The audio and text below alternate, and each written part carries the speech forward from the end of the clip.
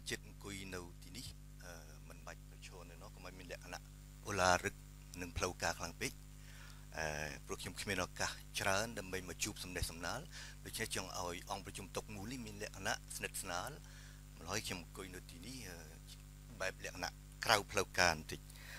អឺមែនទេខ្ញុំគ្រងមកនិយាយពីអ្វីមួយច្បាស់កំដេចក្រោយពីបានស្ដាប់វាលគ្មិនទាំង3រូបខ្ញុំ គិតថា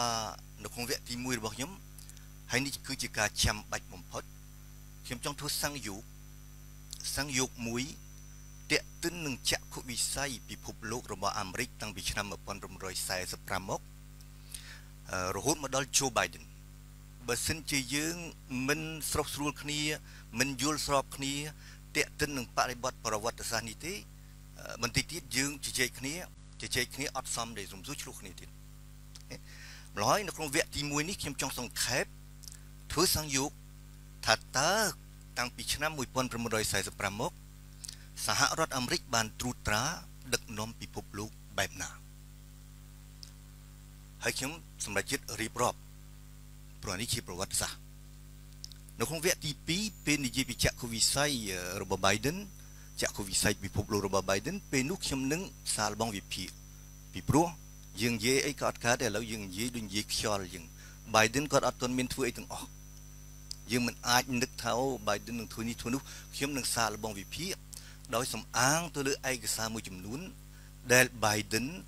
បានសរសេរឬក៏ Biden បាននិយាយរៀបរាប់ពេលគាត់កំពុងធ្វើយុទ្ធនាការឃោសនាបោះឆ្នោតម្ល៉េះអេដាមគិនភីបើសិនជាខ្ញុំលឹះពេលវេលាបន្តិចតួច សូមអធិស្ឋានពីព្រោះលោកពុយគីដែលជាមិត្តភ័ក្តិរបស់ខ្ញុំគាត់ចាយទៅ10នាទីហើយគាត់លួចខ្សឹបប្រាប់ខ្ញុំបាញ់មិញថាអូខេយកចោះ10នាទីហ្នឹង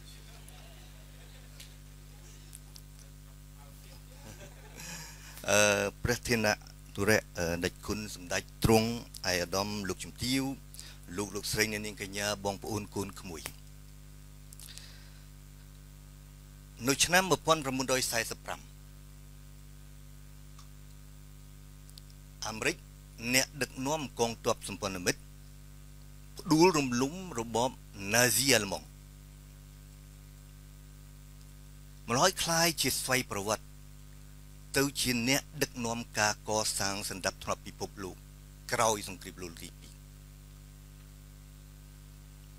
ពេលនោះ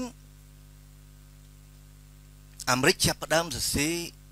ប្រវត្តិសាស្ត្រពិភពលោក ជាមួយអ្វីដែលគេហៅថាកិច្ចព្រមព្រៀង Britain Woods ដែលបានបង្កើតឡើងនៅអ្វីដែលថ្ងៃនេះយើងស្គាល់ថាជា World Bank ធនាគារពិភពលោកឬជា IMF មូលនិធិរូបិយវត្ថុអន្តរជាតិមូលនិធិរូបិយវត្ថុអន្តរជាតិបាន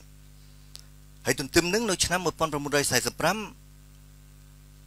អង្គការសហប្រជាជាតិលេចចេញជារូបរាង ក្រោយសង្គ្រាមលោកលើកទី2ស្រាប់តែសម្ដាប់ធ្នាប់ពិភពលោកហ្នឹងคล้ายជាថ្នាលរបស់អាមេរិកអាមេរិកមានបំណងនឹងជាមួយនឹងពួកបច្ចិមលោក ជាពិសេសអឺរ៉ុបខាងលិចចង់ឲ្យពិភពលោកទាំងមូលនឹងមានថ្នាលប្រជាធិបតេយ្យសេរីនិយមក៏ប៉ុន្តែបន្តិចម្ដងបន្តិចម្ដងអាមេរិក និងលោកខាងលិចប្រមូលផ្ដុំគ្នានៅក្នុងប្លុកខាងលិចដែលគេហៅថាសេរីនិយមនិងប្រជាធិបតេយ្យហ្នឹងចាប់ផ្ដើមប្រជុំមុខគ្នានឹងសូវៀតកុម្មុយនីសសូវៀតកុម្មុយនីសដែលក៏ជាអ្នកឈ្នះសង្គ្រាមលោកលើកទី2ដូចជាដែរសហភាពសូវៀតคล้ายជាមេដឹកនាំនៃប្លុកខាងកើត ម្ល៉េះហើយចាប់ពីឆ្នាំ1947ទៅប្លុកខាងលិចជាមួយនឹងប្លុកខាងកើតប្លុកខាងលិចដឹកនាំដោយអាមេរិកប្លុកខាងកើតដឹកនាំដោយសហភាពសូវៀតតតាំងគ្នាហេតុអីបានតតាំងគ្នាពីព្រោះមានចក្ខុវិស័យពិភពលោកខុសគ្នានៅម្ខាងជាចក្ខុវិស័យពិភពលោកសេរីនិយមប្រជាធិបតេយ្យនៅម្ខាងទៀតសហភាពសូវៀតគឺជាប្រទេសកុម្មុយនីសចក្ខុវិស័យ ពិភពលោកកុម្មុយនីសគឺជាអ្វីដែលគេហៅឡាគេហៅថាជាការផ្ដើមឡើងនៃពិភពលោកពូល2គឺជាអ្វីដែលគេហៅថាការផ្ដើមឡើងនៃសង្គ្រាមត្រជាក់ហើយនៅក្នុងធរវេលានៃសង្គ្រាមត្រជាក់នៅអាស៊ីនេះយើងឆ្លងកាត់ សង្គ្រាមក្តៅពីរដែលមានលក្ខណៈធំធេងណាស់នៅក្នុងប្រវត្តិសាស្ត្រឆ្នាំទសតវត្សទី20គឺសង្គ្រាមកូរ៉េហើយនិងសង្គ្រាមឥណ្ឌូចិនទី2ឬដែលយើងទាំងអស់គ្នាស្គាល់ថាជាសង្គ្រាមវៀតណាមដែលបានឆ្លងរាលដាលពីវៀតណាមចូលដល់ឡាវចូលដល់កម្ពុជាហើយយើងសប្តាហ៍នេះនៅបន្សល់ទុកអនុស្សាវរីយ៍សម័យសង្គ្រាមវៀតណាមសម័យសង្គ្រាមលន់នល់សង្គ្រាមជាមួយខ្មែរក្រហមមកទល់សប្តាហ៍ ម្ល៉េះកម្ពុជាជាប្រទេសរងគ្រោះអានេះខ្ញុំបិទវងកញ្ចក់នៅឆ្នាំ1989ជញ្ជាំងបែកឡាំងរលំហើយជញ្ជាំងបែកឡាំងនោះគឺជាអ្វីគឺជានិមិត្តរូបនៃការខណ្ឌចែកពិភពលោកជាពីរដោយសារតែមានម្ខាងដឹកនាំដោយអាមេរិកម្ខាងទៀតដឹកនាំដោយសហភាពសូវៀត ជញ្ជាំងបែកឡាំងហ្នឹងគឺ Winston Churchill ដែលគាត់កាលនោះជានាយករដ្ឋមន្ត្រី នៃប្រទេសអង់គ្លេសវាតម្លៃថាគឺជានិមិត្តរូបនៃវាំងននដែកដែលធ្លាក់ពីលើមកខណ្ឌចែកពិភពលោកជាពីរប៉ុន្តែនៅឆ្នាំ1989ជញ្ជាំងបែកឡាំងរលំ2ឆ្នាំក្រោយមក នៅឆ្នាំ1991សហភាពសូវៀតរលាយ គឺជាជ័យជំនះប្រកែកមិនបាននៃប្លុកសេរីប្រជាធិបតេយ្យដឹកនាំដោយអាមេរិកនិងអឺរ៉ុបខាងលិចពិភពលោកពូល2คล้ายមួយរំពេចទៅជាពិភពលោកពូលតែមួយហើយអាមេរិកដែលជាមេដឹកនាំលោកខាងលិចជាមេដឹកនាំចក្ខុវិស័យពិភពលោកសេរីនិយមនិងប្រជាធិបតេយ្យคล้ายទៅជាម្ចាស់ពិភពលោក ហេតុអីបានคล้ายទៅជាម្ចាស់ពិភពលោកពីព្រោះនៅក្នុងពិភពលោកនៅឆ្នាំ1991អស់មានគូប្រជែងណា ដែលមានមៀតហើយនឹងមានមជ្ឈបាយធំដោយអាមេរិក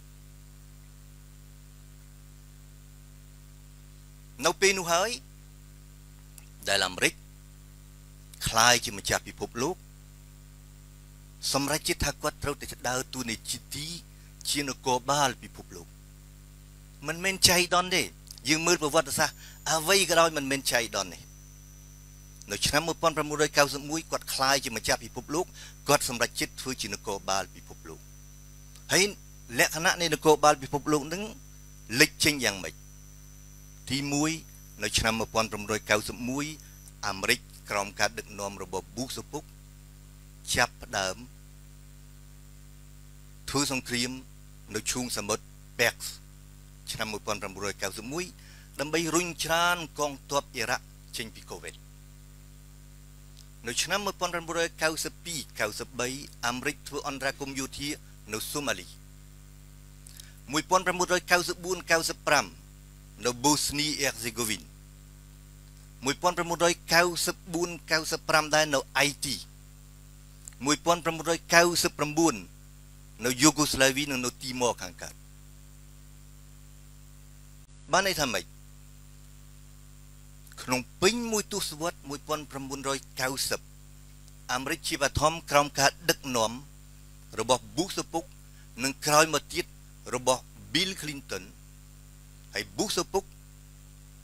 គឺជាអ្នកសាធារណរដ្ឋចេញពីបកសាធារណរដ្ឋ Clinton ចេញពីបកប្រជាធិបតេយ្យម្ល៉េះហើយនេះគឺជាគោលនយោបាយរបស់អាមេរិក មិនមែនស៊ីសងអ្នកឯងចេញពីគណៈបកប្រជាធិបតេយ្យឬអ្នកឯងចេញពីបកសាធារណរដ្ឋអីទេគឺវាស៊ីសងនឹងបរិបទអាមេរិកត្រូវតែដើរតួនាទីជានគរបាលពិភពលោកក៏ប៉ុន្តែពិភពលោកផ្លាស់ប្ដូរប្រវត្តិសាស្ត្រហក់លោតឆ្នាំ2001 2001ជាអ្វីគឺជារបត់ប្រវត្តិសាស្ត្រធំណាស់សម្រាប់អាមេរិក11កញ្ញា2001 យន្តហោះជាច្រើនគ្រឿងបង្វែងនិងបើកដោយពួកភេរវជនអាល់កៃដាបុកកំតិចអាគារភ្លោះនៅនុយយ៉កបងបុកកំតិចមន្ទីរបញ្ញកោនក្រសួងការពារជាតិអាមេរិកបងបុកកំតិចសភាកាពីតុលតែมันបានសម្រេចបានន័យថាម៉េចបានន័យថាអនុត្តរភាព និមិត្តរូបនៃអនុត្តរភាពអាមេរិកកាំងត្រូវបានផ្ដួលរំលំដោយអាល់កៃដាអាមេរិកដែលមកដល់ពេលនេះក្នុងពេញមួយទសវត្សរ៍1990យល់ឃើញថាខ្លួនខ្លាំងពូកែសឹងថាកាប់មិនមុតដុតឆេះស្រាប់តែគាត់យល់ឃើញថានៅទីបំផុតភេរវជនមកពីក្រៅមកបង្កើតហេតុ បង្កជាសង្គ្រាមនៅលើទឹកដីរបស់គាត់2001ម្ល៉េះអាមេរិកធ្វើអីអាមេរិកបាក់មុខបាត់បង់កិត្តិយសគាត់សងសឹកខែតុលា2001គាត់ធ្វើសង្គ្រាមនៅអាហ្វហ្គានីស្ថានដើម្បីអីដើម្បីតាមកំទេចអាល់កៃដា និងតាមប្រមាញ់មេរបស់អាល់កៃដាអ៊ូសាម៉ាប៊ិនឡាដិន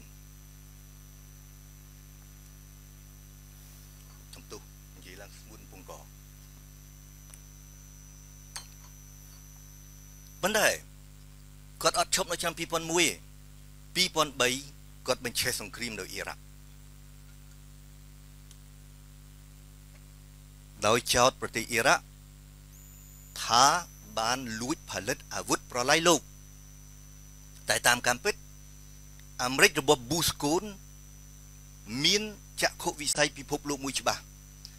គាត់ចង់ផ្ដួលរំលំរបបផ្ដាច់ការរបស់ Saddam Hussein រួចហើយពីប្រទេសអ៊ីរ៉ាក់បង្កើតឲ្យមានរលកប្រជាធិបតេយ្យគ្របដណ្ដប់ទៅលើមជ្ឈិមបូព៌ាទាំងមូលថ្ងៃនេះ20ឆ្នាំក្រោយមកតើលទ្ធិប្រជាធិបតេយ្យបានគ្របដណ្ដប់ទៅលើមជ្ឈិមបូព៌ាដែរឬទេ ថ្ងៃនេះ20ឆ្នាំក្រោយមកអាមេរិកស្រាប់តែនៅផុងខ្លួនដដែល ក្នុងសង្គ្រាមអាហ្វហ្គានីស្ថាន និងក្នុងសង្គ្រាមអ៊ីរ៉ាក់នៅពេលនោះហើយដែលអាមេរិកយល់ឃើញខ្លួនឯងថាអញទូលពិភពលោកលែងរួចហើយអញ្ចឹងហើយបានជាខ្ញុំនិយាយមកមិញថានៅឆ្នាំ2001គឺជារបត់ប្រវត្តិសាស្ត្រសម្រាប់អាមេរិកចេញពីមហាយៈដែលគ្មានគូប្រជែងអាមេរិកចាប់ផ្ដើម ធ្វើជានគរបាលពិភពលោកនៅឆ្នាំ2001គាត់យល់ឃើញថាខ្ញុំទូលពិភពលោកលែងរួចហើយទូលលែងរួចហើយទៅលែងរួចហើយ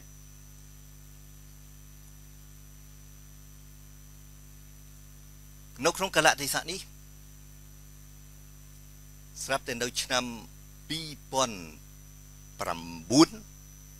បារ៉ាអូបាម៉ាជាប់ឆ្នោតជាប្រធានាធិបតីមកទល់ពីនេះយើងចេះនាំគ្នានិយាយថា ត្រាំគាត់បានបោះបង់ចោលទូនីតិជានគរបាលពិភពលោករបស់អាមេរិកមិនមែនទេអ្នកដែលផ្ដើមមុនគេគឺអូបាម៉ានៅឆ្នាំ2009អូបាម៉ាឡើងគ្រប់គ្រងសហរដ្ឋអាមេរិកអូបាម៉ានិយាយច្បាស់ថាយើងមិនអាចចាត់ទុកបញ្ហាពិភពលោកដូចជាក្បាលដៃគោលដែលយើងត្រូវតែដំបន្លិចទេចាប់ពីថ្ងៃនេះតទៅ អាមេរិកមិនអាចធ្វើជានគរបាលពិភពលោកបានទៀតទេអាមេរិកត្រូវតែបោះបង់ចោលបណ្ដើបណ្ដើទំងន់នៃការទទួលខុសត្រូវនៅលើពិភពលោកពីព្រោះអាមេរិកអូបាម៉ានិយាយខ្លួនឯងអាមេរិកមិនមែនជានគរបាលពិភពលោកដែលអាចបញ្ជាពិភពលោកឲ្យធ្វើអ្វីស្រេចទៅចិត្តរបស់អាមេរិកបានទេប៉ុន្តែពេលដែលអូបាម៉ាគាត់ប្រកាសបែបហ្នឹង មកពីអូបាម៉ាគាត់មានចក្ខុវិស័យពិភពលោកមួយផ្សេងអូបាម៉ាមើលឃើញគ្រោះថ្នាក់ដ៏ធំមួយ គ្រោះថ្នាក់ដ៏ធំមួយនោះគឺចិនចិនកំពុងលេចត្រដែតឡើងលឿនរហ័សខ្ញុំអត់និយាយចិនរះឡើងទេរះឡើងមានលក្ខណៈវិជ្ជមានពេកគេអាចចោទខ្ញុំថាខ្ញុំកាន់ជើងចិនខ្ញុំថាចិនលេចត្រដែតឡើងលឿនរហ័សលឿនរហ័សពេកធ្វើឲ្យអាមេរិកបារម្ភ ធ្វើឲ្យអាមេរិករបស់អូបាម៉ាបារម្ភម្ល៉េះហើយអាមេរិកបង្កើតអាមេរិករបស់អូបាម៉ានិង Hillary Clinton បង្កើតនៅអ្វីដែលគេហៅថានយោបាយអាទិភាពអាស៊ីជាភាសាអង់គ្លេសគេហៅថា the pivot to Asia គាត់ថាឥឡូវនេះមជ្ឈមបូព៌ាលែងជារឿងយើងហើយយើងត្រូវចាប់ផ្ដើមដកទ័ពបណ្ដាបណ្ដាពីអ៊ីរ៉ាក់និងពីអាហ្វហ្គានីស្ថាន ដើម្បីយកមកពង្រឹងនៅអាស៊ីដើម្បីខ្ទប់ចិនក៏មិនឲ្យដកមករួចដកពីអ៊ីរ៉ាក់ក៏មិនរួចដកពីអាហ្វហ្គានីស្ថានក៏មិនរួចត្រាំឡើងមកសាកល្បងដូចគ្នាដកចេញទេ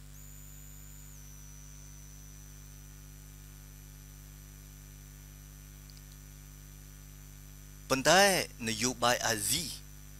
អធិភាពអាស៊ីរបស់អូបាម៉ាប្រវត្តិសាស្ត្រទៀតណាគាត់កំពុងតែ បោះពួយលឿនស្លេវថាខ្ញុំត្រូវតែខ្ទប់ចិនតាមរយៈនយោបាយអធិភាពអាស៊ីរបស់ខ្ញុំ The Pivot to Asia ស្រាប់តែត្រាំឆ្នាំ2016ឡើងមកគ្រប់គ្រងសហរដ្ឋអាមេរិកគាត់ឡើងមកគាត់ថាមិនក្រាំគាត់ថា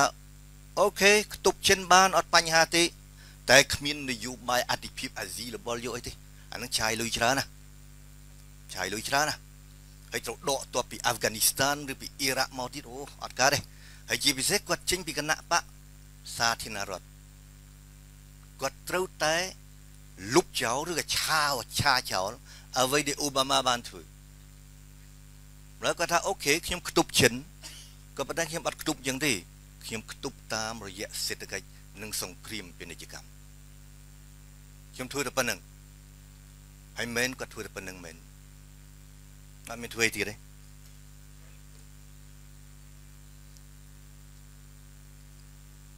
ក៏ប៉ុន្តែអាវិញខ្ញុំនិយាយថាឆ្នាំ2001គឺជារបត់ប្រវត្តិសាស្ត្រសម្រាប់អាមេរិកតែឆ្នាំ2001ក៏ជារបត់ប្រវត្តិសាស្ត្រនៅក្នុងទំនាក់ទំនងរវាងចិននិងអាមេរិកដែរហេតុអី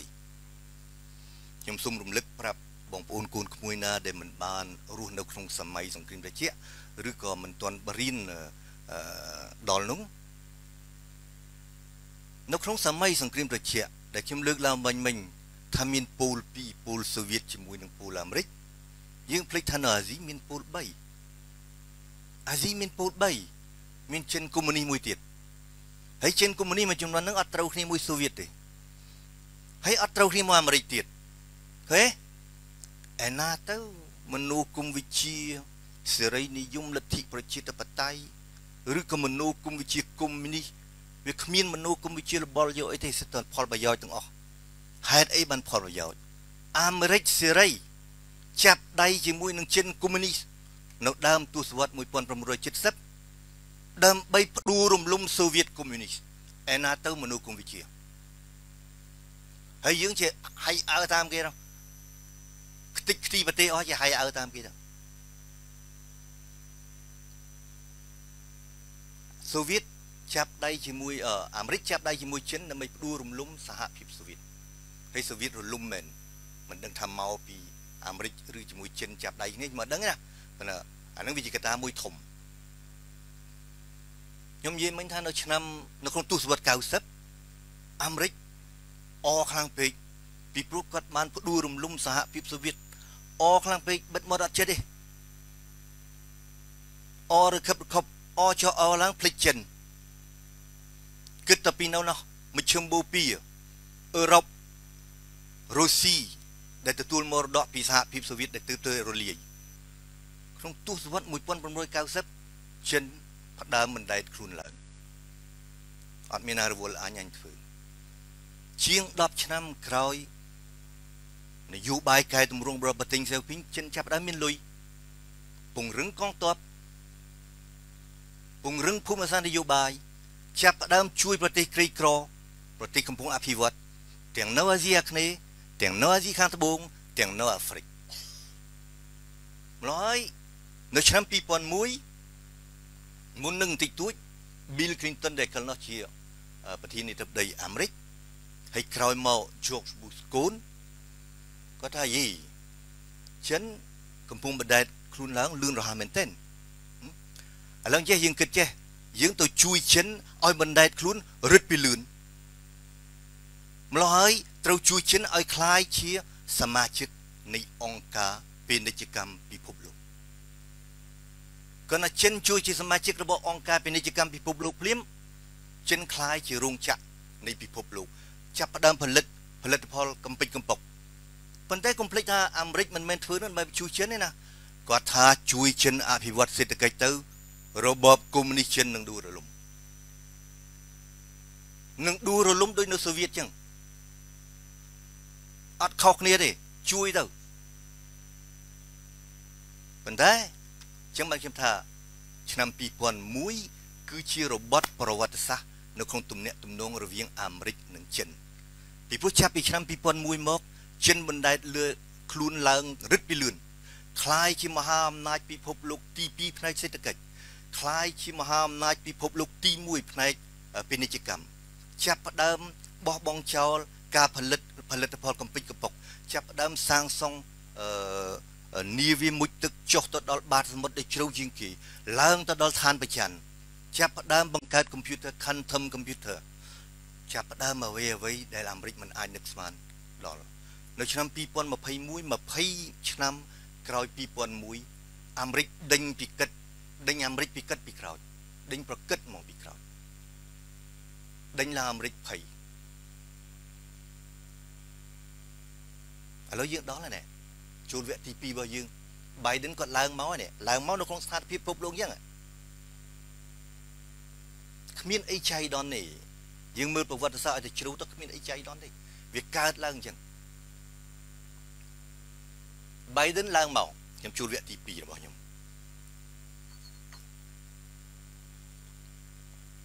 សុំវិញទៅលោកដិតអស់ម៉ានអស់ម៉ានហ្នឹងអស់ពេញទីអូចឹងចប់ចឹងខ្ញុំជែកគ្នាអូខេអូខេអឺឥឡូវនិយាយពី Joe Biden ខ្ញុំបានសន្យាមិញមិញថាខ្ញុំនឹងសាកល្បងវិភាគទី1ទាំងអស់គ្នាទាំងខ្ញុំទាំងគេទាំងយើងសិតតែចង់យល់ថាអ្វីទៅចាក់ខុវិស័យពិភពលោករបស់ Joe Biden យើងមិនអាចនិយាយថាគាត់ឡើងមកគាត់នឹងធ្វើនេះធ្វើនោះដោយអត់មានមូលដ្ឋានទេអត្ថបទធំមួយដែល Joe Biden បានសរសេរតាក់ទិននឹងនយោបាយការបរទេសរបស់គាត់ត្រូវបានសរសេរដោយគាត់នៅខែមីនាឆ្នាំ2020ចុះផ្សាយដោយទេសនាវដ្តី Foreign Affair កិច្ចការបរទេសនៅក្នុងអត្ថបទនោះ Joe Biden លើកឡើងថាសម្ដាប់ធ្នាប់ពិភពលោកមិនមែនអាចកើតឡើងដោយខ្លួនឯងបានទេវាទាល់តែមហាអំណាចមួយ ឬប្រទេសមួយក្រុម មានឆន្ទៈចង់បង្កើតសម្ដាប់ធ្នាប់ពិភពលោកមួយដូចសម្ដាប់ធ្នាប់ក្រោយសម័យសង្គ្រាមលោកលើកទី2នៅឆ្នាំ1945គឺជាសម្ដាប់ធ្នាប់ដែលផ្ដួចផ្ដើមបង្កើតឡើងដោយសហរដ្ឋអាមេរិកនិងដោយអឺរ៉ុបខាងលិចម្ល៉េះហើយ យើងអាមេរិកយើងមិនត្រូវបណ្ដោយឲ្យសម្ដាប់ធ្នាប់ថ្មីឬសម្ដាប់ធ្នាប់ពិភពលោកចាស់កែប្រែដោយមហាអំណាចផ្សេងទៀតក្រៅពីយើងទេគាត់ចង់តម្រង់និយាយពីចិនថាយើងអត់ធ្វើចិននឹងធ្វើហើយរួចហើយគាត់ថាដើម្បីកសាងសម្ដាប់ធ្នាប់ថ្មីវាទាល់តែយើងណោះ ដែលជាសម្ព័ន្ធមិត្តប្រវត្តិសាស្ត្រនឹងគ្នាត្រូវរូវគ្នាឡើងវិញគាត់ចង់និយាយតម្រង់ជាពិសេសពួកបណ្ដាប្រទេសអឺរ៉ុបដែលត្រាំបានបោះបង់ចោលមួយរយៈដែលត្រាំជន់ជើងអស់4ឆ្នាំ ដែលត្រាំមើលងាយ4ឆ្នាំគាត់ថាឥឡូវខ្ញុំ Joe Biden ប្រធានាធិបតីនៃអាមេរិកថ្មីខ្ញុំនឹងបង្កើត រណសេរីប្រជាធិបតេយ្យមួយឡើងវិញខ្ញុំនឹងធ្វើឲ្យអាមេរិកคล้ายជាមេកើយនៃអឺគុណតម្លៃប្រជាធិបតេយ្យឡើងវិញខ្ញុំនឹងបង្កើតឬក៏សើឬឲ្យមានសន្ទុះឡើងវិញនៅអ្វីដែលគេហៅថាពហុភាគីនិយមពីព្រោះត្រាំរយៈពេល4ឆ្នាំចុងក្រោយគាត់អនុវត្តអ្វីដែលគេហៅថាឯកតោភាគីនិយមអញអញអញអញ ឥឡូវនេះជាមួយខ្ញុំ Joe Biden លេងអញឲ្យយើងម្ដងប៉ុន្តែយើងមិនមែនយើងជាមួយអ្នកណាណាយើងគឺខ្ញុំអាមេរិកជាមួយនឹងអតីតសម្ព័ន្ធមិត្តឬជាមួយនឹងសម្ព័ន្ធមិត្តប្រវត្តិសាស្ត្ររបស់យើងនេះគ្រាន់តែក្នុងអត្ថបទគាត់ទេណាម្ល៉េះហើយអានឹងនៅតែជាការសុបិននៅឡើយណាខ្ញុំបានជួលវគ្គទីចំណុចទី2របស់ខ្ញុំសុបិននឹងការពិតខ្ញុំសាកល្បងវិភាគ ថាតើអ្វីដែលគាត់លើកឡើងនឹងអាចអនុវត្តបានដែរឬទេនៅក្នុងពិភពលោកសពថ្ងៃគាត់ចង់ពង្រឹងសម្ព័ន្ធភាពឡើងវិញជាមួយនឹងអឺរ៉ុបប៉ុន្តែពង្រឹងសម្ព័ន្ធភាពវិញជាមួយអឺរ៉ុបបានន័យថាម៉េចបានន័យថាត្រូវតែពង្រឹង NATO ឡើងវិញ NATO ដែលត្រឹមជន់ឈ្លីអស់រយៈពេល4ឆ្នាំ ប៉ុន្តែបើសិនជាពង្រឹង NATO ឡើងវិញតើរុស្ស៊ីព្រមអត់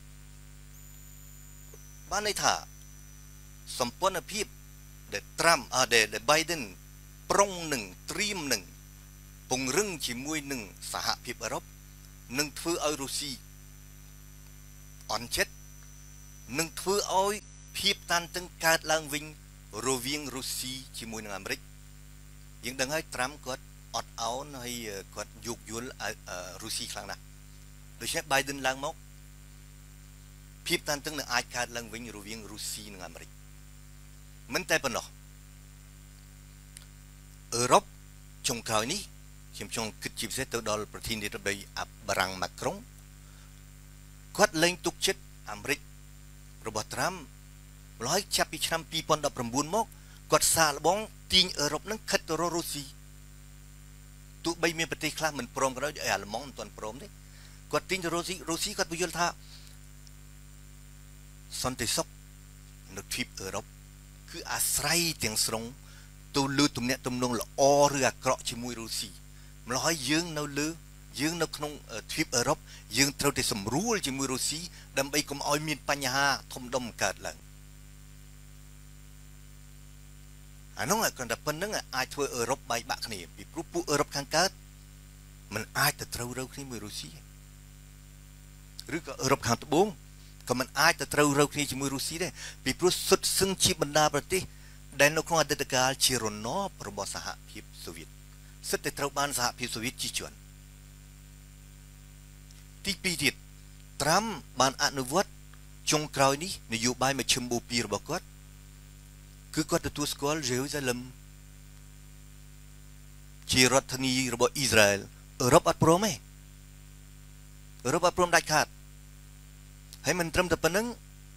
ចុងក្រោយនេះត្រាំគាត់បង្រួបបង្រួមពួកបណ្ដាប្រទេសសត្រូវរបស់អ៊ីរ៉ុងអារ៉ាប៊ីសាអូឌីតទៅត្រូវគ្នាជាមួយអ៊ីស្រាអែលហើយនៅចុងបញ្ចប់វាធ្វើឲ្យជំហររបស់អ៊ីស្រាអែលនៅក្នុងមជ្ឈមបូព៌ារឹងរិតពីខ្លាំងអឺរ៉ុបអត់ទទួលបានទេ ម្ល៉េះហើយបានខ្ញុំថាអានេះអាចជាសុបិននឹងការពិតនៅត្រង់ហ្នឹង Joe Biden គាត់ចង់ធ្វើតើគាត់ធ្វើបានឬមិនបានអឺរ៉ុបអូខេចប់អឺរ៉ុបឥឡូវនិយាយពីចិនម្ដង Joe Biden នៅក្នុងអត្ថបទរបស់គាត់គាត់ដាក់ច្បាស់ចេះអាមេរិកត្រូវតែបន្តកាចដាក់ចិនកាចយ៉ាងម៉េចកាចដាក់ចិនអាមេរិកកាយដាក់ចិនបានថា ដូចលោកពុយគីហើយវាគ្មិនមុនមុនបានលើកឡើងអញ្ចឹងបានថាអាមេរិកត្រូវតែធ្វើយ៉ាងណាខ្ទប់ចិនបន្តទៅទៀតនៅត្រង់នេះ Joe Biden ក៏ដូចអូបាម៉ាក៏ដូចត្រាំនឹងបន្តខ្ទប់ចិនតទៅទៀតពីព្រោះចាប់ពីថ្ងៃនេះតទៅចិនជាគូប្រជែងទី1របស់អាមេរិកចិនជាគូប្រជែងយុទ្ធសាស្ត្រចិនជាសត្រូវសក្តានុពលរបស់អាមេរិកហើយអាមេរិកត្រូវតែខ្ទប់ដោយលោកប៊ុណាលើកឡើងមិញមិញអញ្ចឹង អាមេរិកជាមហាអំណាចចាស់ចិនជាមហាអំណាចថ្មីដែលកំពុងលេចត្រដែតឡើងហើយអានឹងជាធម្មជាតិរបស់មនុស្សជាធម្មជាតិរបស់ប្រទេសអ្នកឯងចង់ឡើងមកគ្របដណ្ដប់ពិភពលោកចង់មកដឹកនាំពិភពលោកខ្ញុំដែលជាមហាអំណាចចាស់ខ្ញុំអត់ទទួលបានទេខ្ញុំទទួលឲ្យបានដាច់ខាតមិនតែប៉ុណ្ណោះចិនខ្ញុំនិយាយនៅទីនេះចិនអ្នកឯងជាប្រទេសស្បែកលឿងខ្ញុំជួនជាស្បែកស ខ្ញុំដឹកនាំពិភពលោកមករាប់តាត់រាប់សតវត្សហើយបាទលោកឯងចង់មកធ្វើមហាអំណាចទី1អីនៅទី2ទៅហើយខ្ញុំខ្ទប់អ្នកឯងតើនៅទី2រហូតហ្នឹងមើលទៅបាទហើយខ្ញុំនឹងប្រើគ្រប់មធ្យោបាយដើម្បីខ្ទប់អ្នកឯង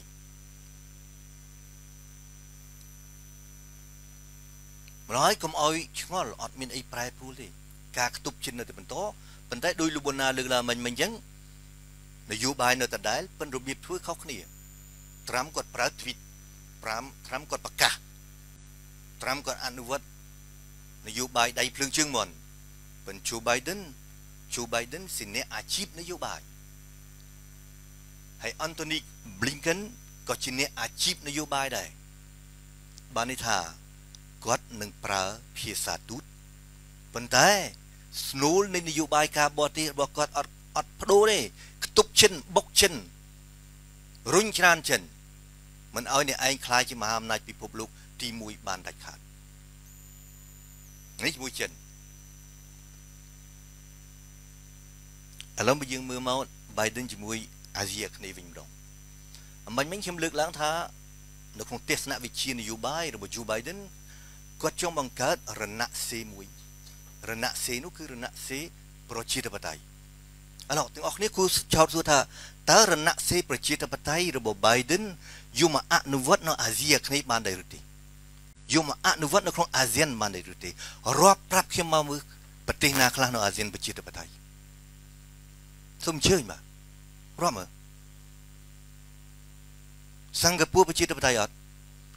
វៀតណាមប្រជាធិបតេយ្យអត់ឡាវប្រជាធិបតេយ្យអត់ភូមាចុងក្រោយនេះប្រជាធិបតេយ្យអត់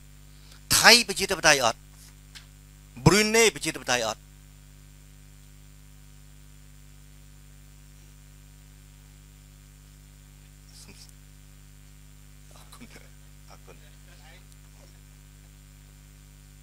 ម៉ាឡេស៊ីប្រជាធិបតេយ្យអត់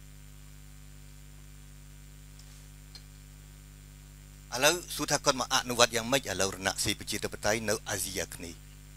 ដោយលោកវណ្ណាលើកឡើងមិញចឹងគាត់នឹងមានស្តង់ដារ2ដូចមុនចឹងស្តង់ដារ2គឺដូចអូបាម៉ាគឺដូចត្រាំនៅទីណាដែលអាមេរិកអត់មានប្រយោជន៍ច្រើនប្រជាធិបតេយ្យ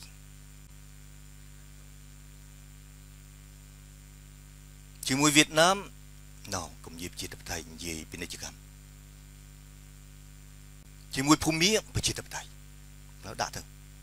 ជាមួយថៃអូអោធ្វើរដ្ឋបហាយូមិនបាច់ជាតិតៃអីទេដល់ដែរឡោះហេតុអីបានគាត់មិនស្ដីឲ្យថៃទៅមើលថៃមើលក្រុមហ៊ុនក្រុមហ៊ុនអាមេរិកកាំងមានប៉ុន្មាននៅនោះខ្ញុំរំលឹកឡើងវិញខ្ញុំជាអ្នកប្រកាសនិយម ខ្ញុំអត់រវើរវាយទេអាយុជិត60អត់រវើរវាយកើតទេបើកាលខ្ញុំនៅក្មេងរវើរវាយច្រើនមែននិយាយពីឧត្តមកតិអូ